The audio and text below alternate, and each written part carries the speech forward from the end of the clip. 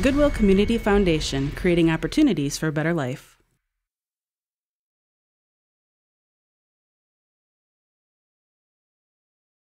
Pictures, text boxes, and shapes are all considered objects in Word.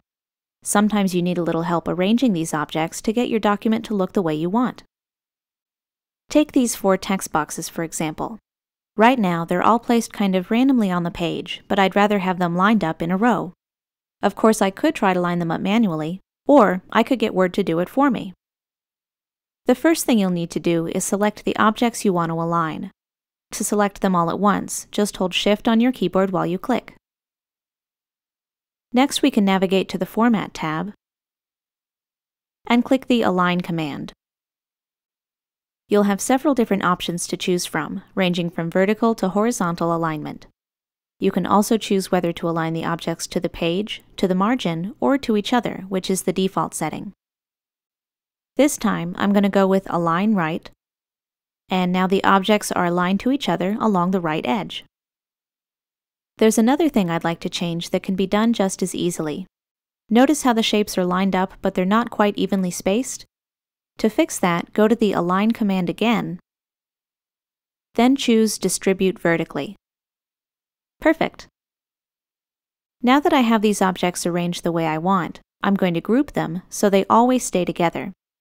Just make sure you have each of your objects selected, then click the Group command, and choose Group.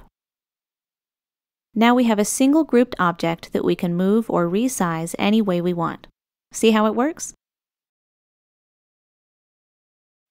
Let's take a look at a few more techniques. I've gone ahead and added the picture I want to use as part of my background. I've also changed the text wrapping setting to in front of text to make it easier to move the picture around the page. The problem is that it's overlapping the rest of the objects in the document, to the point where we can't even see them. This can happen anytime you have multiple objects, depending on the order they're in. To change the order of an object, make sure it's selected, then go to the Format tab.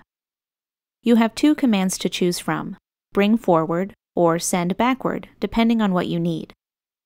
If I click Send Backward, the image moves back only one level, basically behind the business name.